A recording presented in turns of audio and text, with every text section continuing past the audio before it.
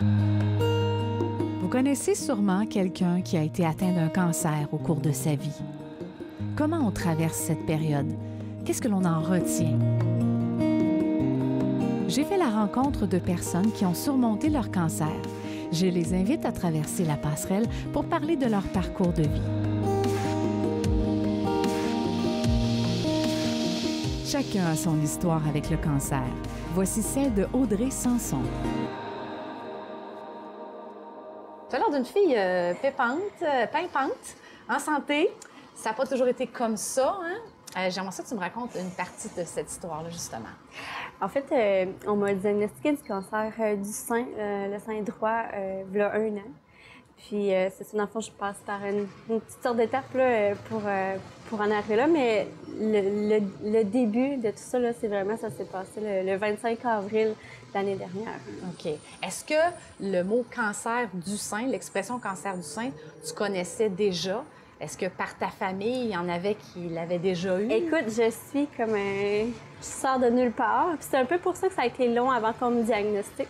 On m'a suivi deux ans en me disant que j'avais rien. Moi, je voyais la bosse.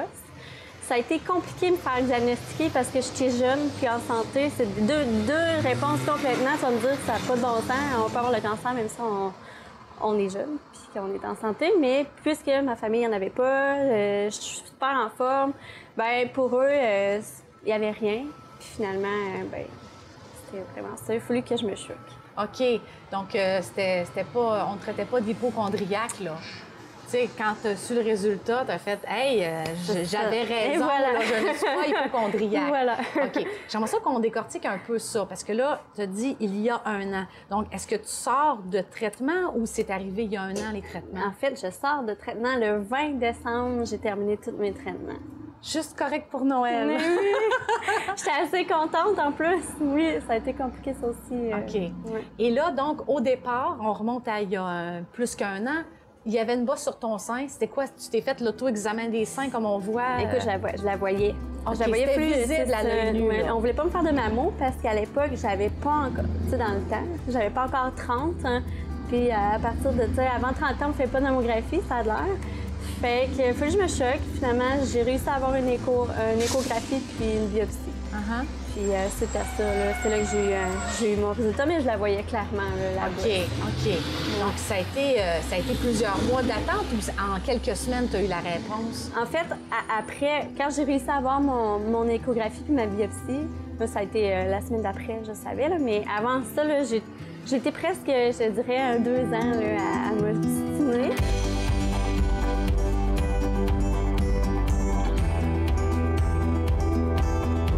Pas, mais j'étais avec euh, mon amie, ma cousine euh, Sandra. Puis euh, on était dans le bureau. Moi, j'étais tellement sûre que c'était ça. Quand elle m'a annoncé le diagnostic, j'ai ri. Mon amie pleurait. J'ai pris la boîte de Kleenex, j'ai laissé, ça va bien aller. Ah oui? Ouais, ça Toi, c'était comme un soulagement parce que c'était enfin la confirmation de On dire... peut-tu me traiter enfin? Oui. C'était plus ça. On peut-tu me prendre au sérieux, C'est là? ça, oui. OK. Mais tu l'as su par téléphone? Non, OK. non, non, vraiment. euh, J'étais dans le bureau du médecin avec mon ami. Il m'avait demandé de venir accompagner. Oui, Déjà ben là, oui. euh, c'est- t'as une bonne idée de ce qui va se passer, mais tu sais, juste euh, l'annonce, moi, je, bon, ça, je savais. Puis tu sais, j'ai tapé euh, Sandra Jessica, ça va bien. Puis, tu sais, quand le médecin te dit diagnostic, tu t'inquiétais plus de ton ami à Oui. côté de toi que ce que Mais le oui. médecin te disait? C'est spécial. Oui, je sais. Mais je suis vraiment à retardement aussi, là, tu sais, dans le sens où, tu sais, j'ai vécu ma, ma panique, si tu veux, mais vraiment longtemps après. Là, j'étais dans un traitement quand je réalisais finalement, hey, euh, finalement, j'ai le cancer.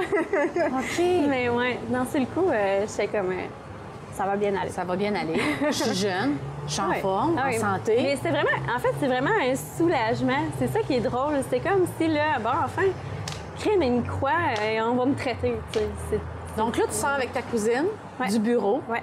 On retourne petit peu de temps à la maison, chacun de notre côté. Faut annoncer ça aux autres. On Ouais. l'annonce de quelle façon? Comment ça s'est fait? Écoute, euh, je pense que j'ai fait ça bien poche. là. Moi, j'ai une, fa- j'ai une, une famille, j'ai huit frères. Puis ma mère est décédée d'un cancer. OK. Ça fait si longtemps. Fait que, tu sais, pour rassembler tout le monde ou appeler tout le monde, c'est un peu long. Fait que j'ai utilisé le groupe Facebook qu'on a euh, annoncé, qui un peu tout le monde était au courant de peut-être ça se pouvait que j'ai ça. Fait que j'ai, j'ai annoncé ça sur Facebook. Donc, à l'écrit. Ça s'est fait à l'écrit. C'est ça. Qu'est-ce que tu as fait? Tu es restée ouverte, tu as attendu les réponses, tu J'ai- attendu. En fait, euh, non. je l'ai annoncé. Je l'ai fermé. Je voulais pas voir. OK. Hey, chacun sa méthode. C'est ça. Et là, par la suite, le téléphone s'est mis à sonner, j'imagine. Ben je oui, peux pas ben croire. Oui, tout à fait. oui. OK. Les gens qui t'ont accompagné, qui t'ont entouré, là, on a parlé de ta cousine qui a eu une forte réaction, puis ça se comprend. Euh, ben, tu en couple? Oui, mais à l'époque, je l'étais pas. En OK. fait, puis ça, c'est wow, là, dans le sens où, tu sais, on... c'était une amitié que j'avais, puis finalement, ça a débouché là-dessus. Mais, mais, même, mais, même, mais même lui, Sam, en fait, euh, j'y ai annoncé aussi parce que c'était mon ami dans le temps. Il, il- me l'a dit, là, il était, à l'époque, il était au, au magasin, puis il est venu les larmes aux yeux, là, sais, il avait de la peine. Mais euh, c'est ça, à l'époque, j'étais, j'étais tout seule, puis ça, j'ai trouvé ça rough.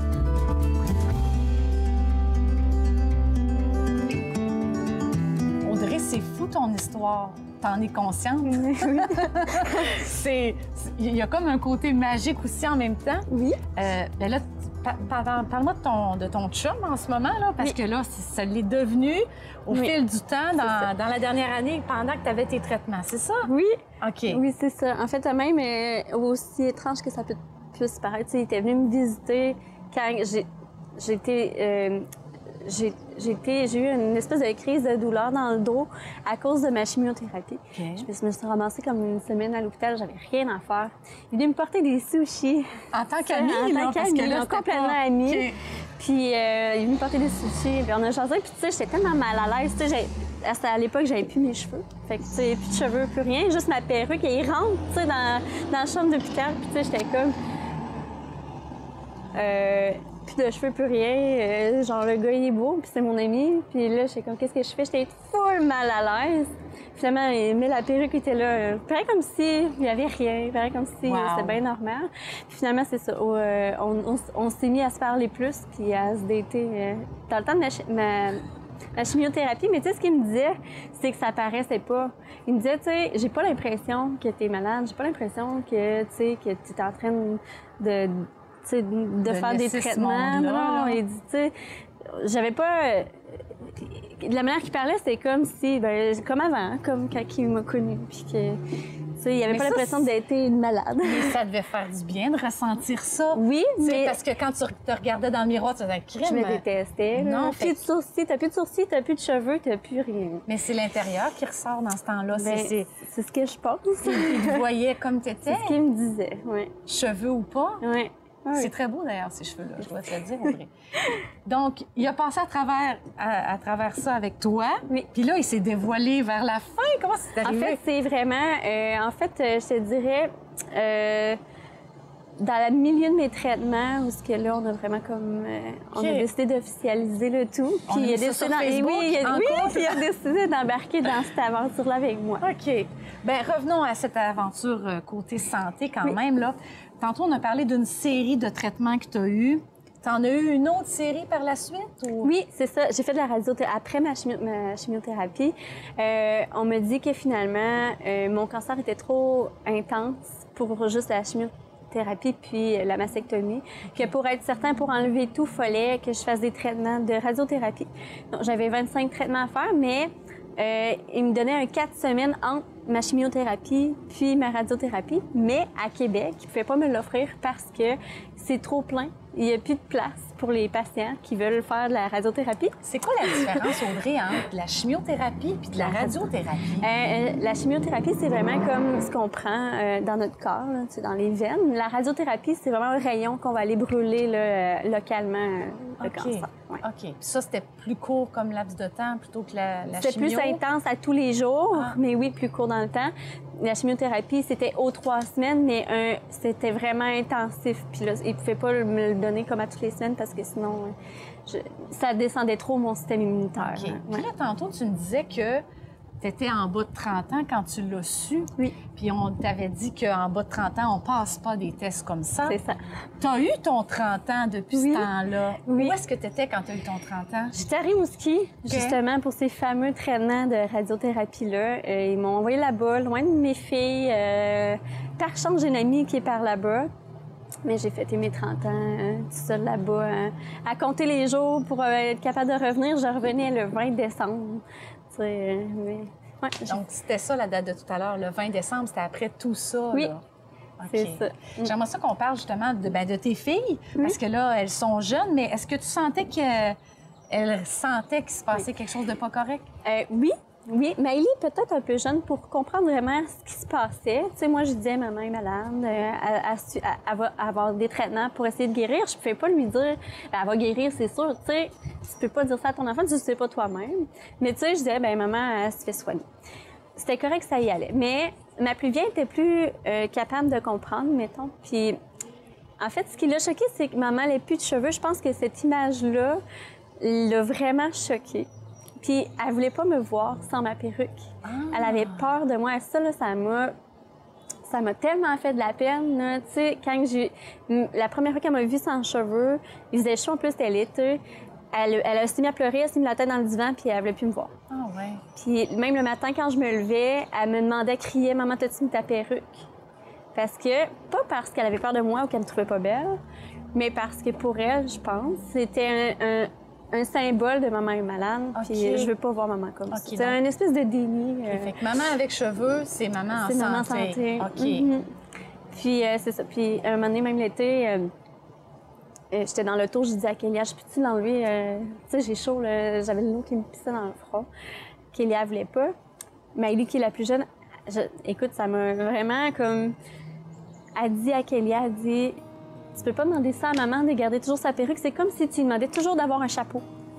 Elle, elle avait compris. Elle avait compris, Ouais. c'est ça. Fait que, tu sais, finalement, là, ça a été... Tu sais, vers la fin de ma chimiothérapie, là, a commencé à vouloir plus me voir sans cheveux. Donc, mais- il y a eu de l'entraide, il y a eu du soutien sans que tu aies à intervenir Ah, oui, entre, entre elles. elles. Se sont Oui. supportées. C'est beau quand même.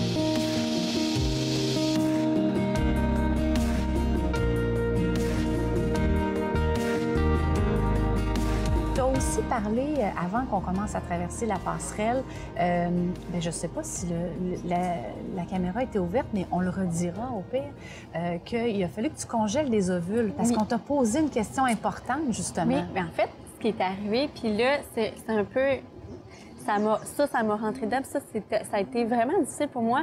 On m'a dit, tu commences ta chimio cette semaine, mercredi. Puis, euh, tu as une séance d'information avant, l'avant-midi, l'après-midi, on commence. Moi, je me déplace à Québec, je vais à la séance d'information. On m'apprend pendant la séance d'information que ça se peut que, euh, en ayant la chimiothérapie, euh, je sois ménopausée. Mais je suis la plus jeune dans la pièce, puis probablement la seule qui ne l'est pas encore. Fait que, tu sais, moi, je pars à pleurer, puis là, je fais, ça n'a pas de bon sens. Vous pouvez pas me donner la chimiothérapie après-midi, là. Tu sais, tout à coup, que je pourrais plus jamais avoir d'enfant, vous m'apprenez ça comme ça, ça n'a pas de bon sens. Moi, j'ai l'intention de vivre après, là. C'est pas fini. J'ai des projets, là. fait que, tu sais, euh, je descends, euh, je descends finalement à essayer de trouver euh, quelqu'un qui peut m'aider avec ça, voir mon médecin, quelque chose. Finalement, on réussit à me donner une infirmière pivot qui fait comme, ben oui, ça a du sens, ta question. c'est juste que nous, on prenait pour acquis que, tu sais, c'était correct. Fait que finalement, euh, ils m'ont donné un rendez-vous la semaine d'après pour que je puisse aller à, à Procréa.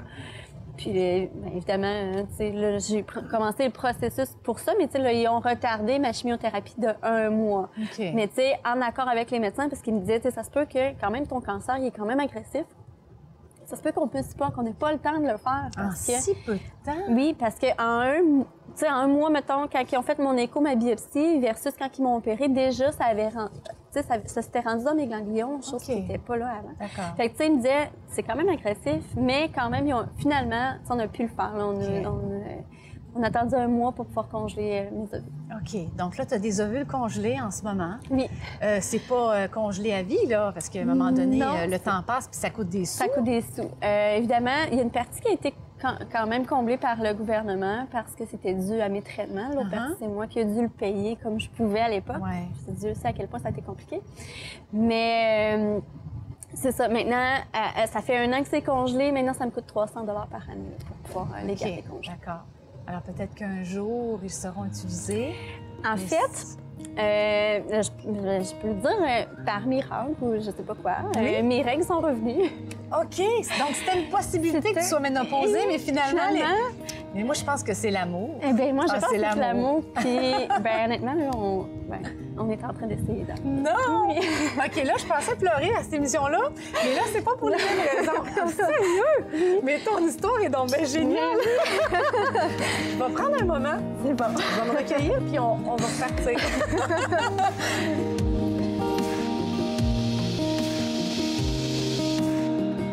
Une fois la série de traitements terminée, la vie reprend pas son cours aussi rapidement. Toi, c'est le contraire qui est arrivé. Dans le fond, tes menstruations sont revenues, ton cycle est revenu.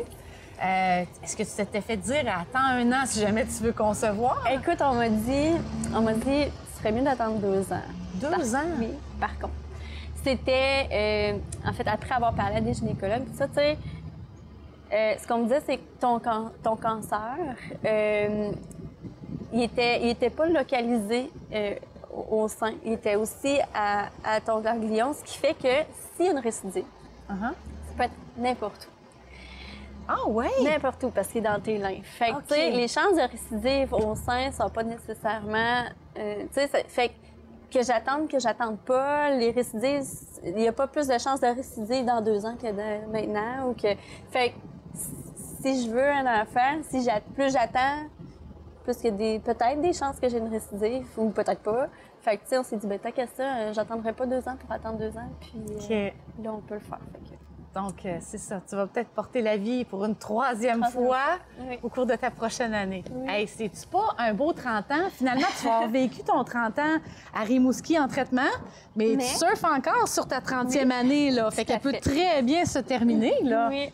Hey, c'est génial. Oui. Euh, J'aimerais ça justement qu'on parle ben, de l'avenir. là. Euh, Qu'est-ce que tu as? As-tu encore une test à passer? As-tu des trucs? euh, Oui, en fait, euh, on est supposé me suivre aux trois mois.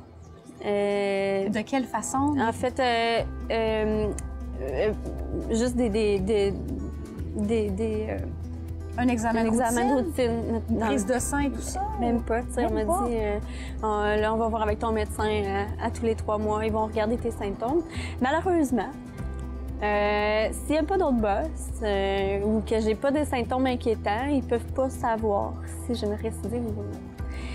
Fait que, tu sais, ce qu'ils m'ont dit, c'est qu'il faut attendre. OK, ça va se manifester. ou- Moi, je suis pas du genre à faire comme, ben, ça se peut j'ai une récidive, je vais attendre voir si j'en ai une. Le- pour Tu moi, c'est fini. Oui. Puis, euh, je- Tu vis- je, je le constate, t'es bien vivante, ma chère. OK, oui. Et on le sait pas, tu portes peut-être la vie. C'est vraiment quelque chose.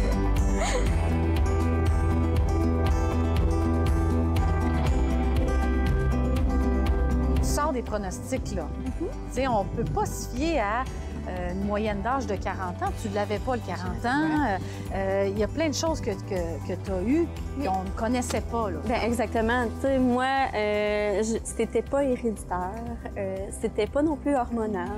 Fait que, tu sais, c'était un cancer qui sort de nowhere, pas parce que j'étais pas en forme ou peu importe. Tu sais, il n'y a pas de lien à, à rien. Il n'y a pas de corrélation entre rien. non. Tu l'as eu, tu as passé au travail, t'es pépante de santé, tu es là pour nous en parler, partager ton histoire. Moi, j'ai adoré. J'espère que les gens euh, ont aimé aussi ben, te découvrir. Moi, j'ai, moi, je vais continuer de te suivre. parce que je veux savoir euh, euh, où est-ce que tu en seras dans cinq ans, parce que là, ton avenir est déjà tracé puis il a l'air assez positif. Merci. Hein? Oui. Hey, Audrey, ça a été un plaisir. euh, Moi aussi. Vraiment, euh, je te souhaite le meilleur avenir. euh, que la famille va peut-être s'agrandir ou pas, ce sera la vie. C'est ça. Ça qui est important, c'est la vie. Merci beaucoup, Audrey. Ça fait plaisir. Le cancer est l'une des épreuves qui nous fait réaliser combien la vie est si précieuse et fragile à la fois. Merci à mon invité qui a gentiment accepté de partager son histoire.